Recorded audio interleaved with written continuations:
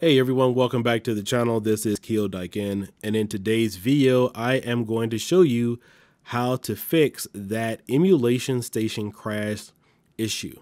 Now, I do believe there are several ways or several things causing it, but in today's video, I'm going to show you a couple of the ways in order to fix it.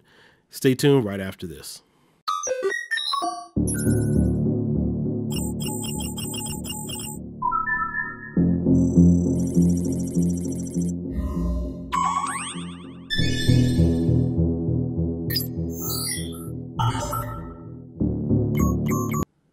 Right, so um, I have seen the emulation station crash issue only maybe once or twice, but I know primarily a lot of you have been messaging me and asking what uh, has been causing this to happen on Pistolero. And so we will cover that today. Uh, so back when I was making Venom, um, I actually never experienced this on Pistolero. I played around with it, left it on for about two days straight. I usually like to do that to see if there's any memory leaks whatsoever. Um, I do I do do some decent Q and A on images, and then of course I also run the uh, PieMarquee script, the Supreme PieMarquee script, in the background before I released anything.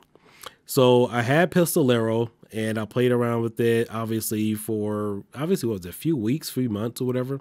And then I added the um, uh, a, a, particular theme to it, uh, which is this theme here, which is also based on the main Pistolero theme. Played around with it, but apparently it went out to the public. I don't know if exactly PiShrink causes this, but we're going to get into it. I want to show you what you can do to fix it because there are a couple of things. So number one, it is a, you'll get a message on your screen referring to some type of GPU error.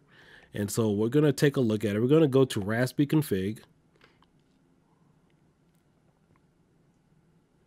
And once you go to Raspberry config, we are going to go to advanced options. Actually, it's not this one. I'm sorry. Let's back up. It is, uh, let's go to performance.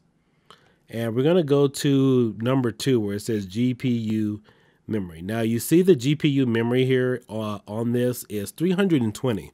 So if you have Pistolero, I believe that one is defaulted at 64. So you may want to go ahead and make that at 320 and uh, this is how you get it. Now, for those of you who are currently having problems, like, hey, Kio, I can't get to this screen or whatnot, uh, what you have to do is go into WinSCP. You'll have to log in under root, and then you'll want to go to ETC, and then you'll want to log in under Emulation Station.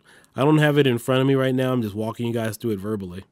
So you want to go to ETC, you want to go to Emulation Station then you'll want to go to themes, and then you'll want to delete the Pistolero thing. It'll say uh, Pistolero thing. Uh, if you don't delete it, your Pi will continuously boot and log that theme in because I do believe that is the defaulted theme.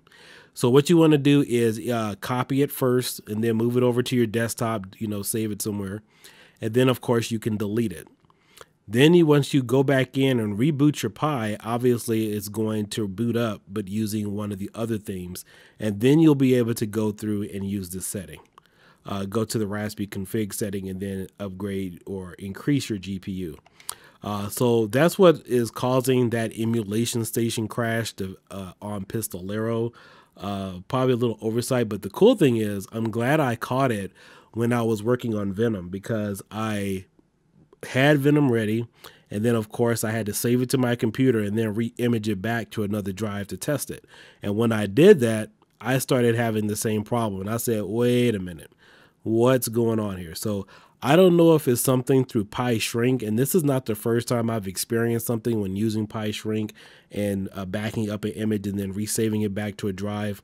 But sometimes it causes conflicts. I don't know exactly what it is, but I have seen uh, PiShrink destroy some images or cause boot configuration problems.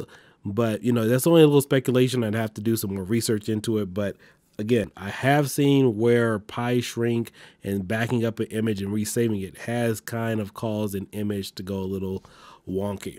But uh, that is the fix. So you want to go ahead and address or move your GPU memory up to 320. Some people do 500, some people do a little bit lower, but I know 300, 320 or so is a great spot. Uh, that's where Venom is currently set. So I'm glad that happened when I before I released Venom because it had the same thing happened again, and I was like, this has never happened before. Uh, as many months as you guys have seen me demonstrating Supreme Ultra, it has never happened until I shrunk it and got ready to upload it. In fact, I was uploading it or I did back it up and had to cancel it several times in order to address that fix. So, hope you guys found this information uh, helpful. That is how you fix the emulation station crash uh, or one of the ways. I, uh, there, I think there are a couple other things that causes it to happen. So again, you will have to log in. If you are using Pistolero, for example, you will have to delete this uh, Pistolero type theme. Uh, Venom is kind of using the same one, uh, using WinSCP. Save it, back it up, uh, then delete it from the image. Log back in.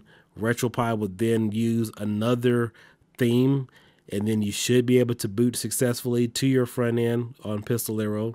And then, of course, you could re uh, go back into WinSCP, re-add that same theme, but make sure you correct or uh, increase that GPU memory so that way that issue doesn't happen again. Uh, hope you guys are all enjoying Venom. Uh, I've got a lot of positive feedback about it. Hope you all are enjoying the uh, load screens, the customized soundtrack, everything else that it has to offer. I really, really wanted to touch on the attract mode, but I was worn out, didn't get a chance with it.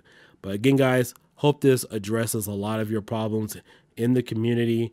Make sure you check out my tutorial. Please look at my playlist for Supreme Ultra and everything concerning RetroPie. Uh, you won't find a lot of other reviews out there on this particular subject, dealing particularly with uh, Supreme stuff or RetroPie images. So, but uh, I hope you guys all have a good evening. I got some more important news for you. Stay tuned, hit that notification bell, and I will catch you later. Bye bye.